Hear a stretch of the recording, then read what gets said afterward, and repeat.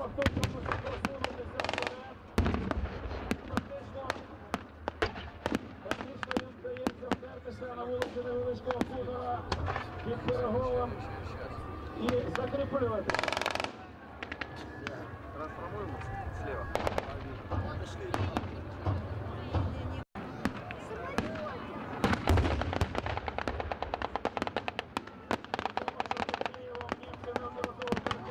атаки, а на Бухарському плацдармі їм вдалося зупинити просування Червоної армії. І ось атаку німецьких наземних військ підтримує